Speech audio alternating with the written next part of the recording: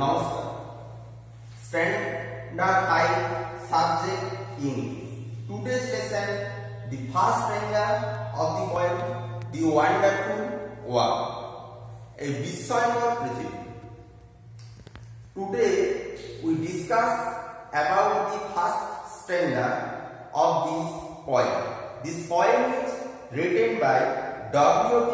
Rand W.T. Rand is an important poet and he wrote so many poems so many stories the wonderful world is one of them.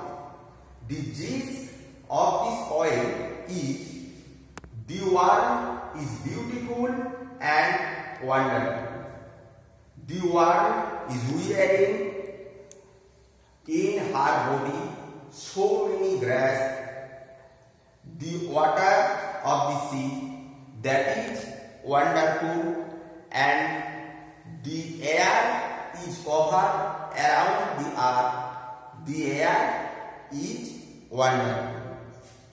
এই প্রথম স্ট্যান্ডাতে কবি যেটা বলছেন যে এই বিস্ময়কর পৃথিবী সবকিছুই বৈচিত্র্যপূর্ণ এবং বিস্ময়কর পৃথিবীটাকে ঘিরে রয়েছে ঘাসের আবরণ সুন্দরভাবে একে ঘিরে রয়েছে সমুদ্রের জল, আর এর চারিপাশে ঘিরে আছে সুন্দর বাতাসে আস্তর।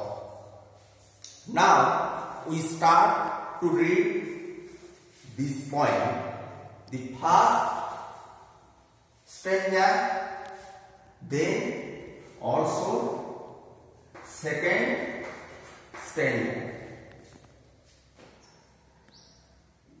great wide beautiful, wonderful world great মানে মহান ওয়াইড মানে চওড়া বিউটিফুল মানে সুন্দর ওয়ান্ডারফুল ওয়ার্ল্ড বিস্ময়কর পৃথিবী। তাহলে সুন্দর, চওড়া, বিস্ময়কর পৃথিবী।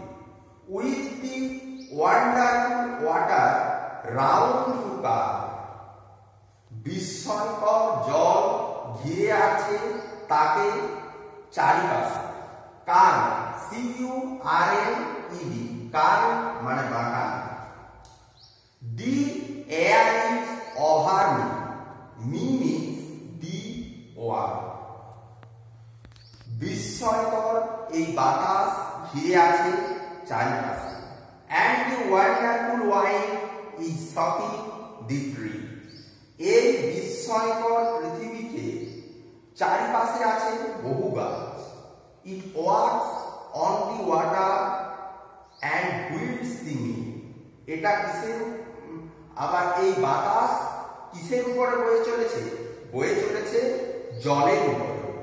And talks to itself on the top of the hills এবং সেই বাতাসের শব্দ, সেটাকে কবি কল্পনা করেছেন যেন বাতাস নিজের মধ্যে কথা বলে চলেছে। কোথায়? না on the top of the hills hills মানে পর্বত। পর্বতে অনেক উপরে।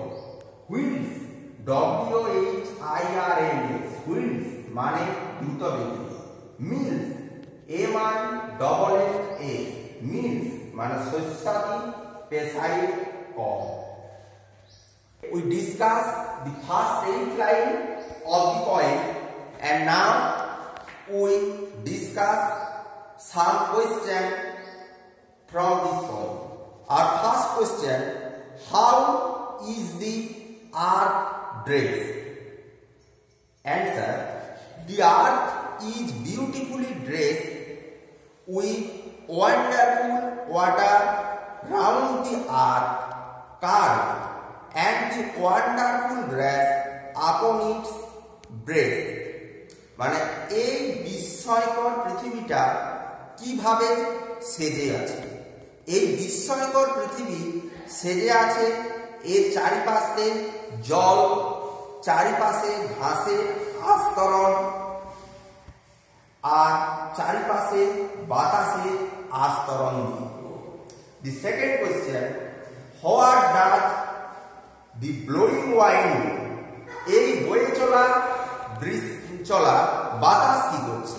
The blowing wind setting the tree walks on the water and whirls the me মানে এই বয়ে চলা বাতাস, বয়ে চলেছে জলের পরে আর সেটিং দি ট্রিজ মানে নড়িয়ে চলেছে গাছপালাকে এই ফার্স্ট এইট লাইনস থেকে এই দুটোর বেশি কোয়েশ্চেন হতে পারে। In next class we will discuss the next part of this coil. If you have any questions from the past failure of this coil, you may contact to this number from 5 pm to 7 pm. Namaskar.